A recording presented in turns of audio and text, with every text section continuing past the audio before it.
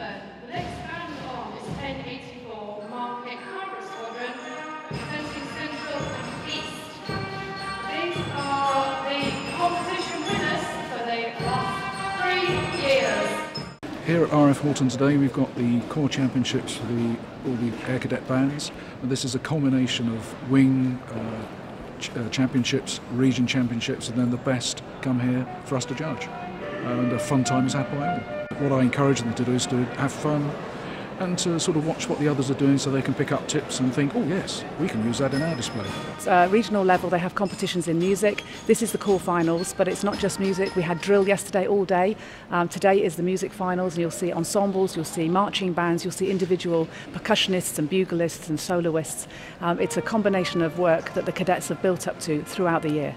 I am so proud to be Commandant of the Air Cadets. This is the, the epitome of the excellence that the cadets can achieve in music. This is the, the culmination of a year's worth of competition.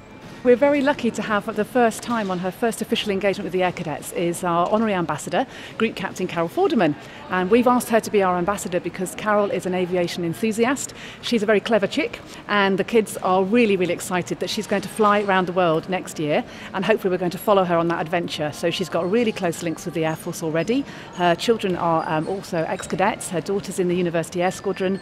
Everything just seems to be a great fit between Carol and the Air Cadet organisation. So this is her first engagement. She only la- launched last, last week at Syerston, and now she's come to her first engagement to meet the cadets, see the volunteers, and just see what we get up to.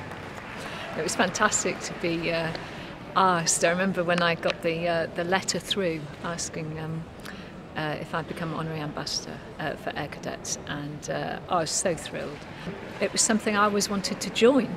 Uh, back in the 70s, I read engineering at university at Cambridge, and uh, and at that time the air squadron wouldn't take girls. And it's a sort of a celebration really. It's like coming full circle for me. It's a, um, it's an you know I've always wanted to be part of the RAF in some form or other.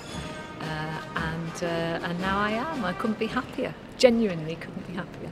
I've always wanted to fly. I always and only ever wanted to be a pilot.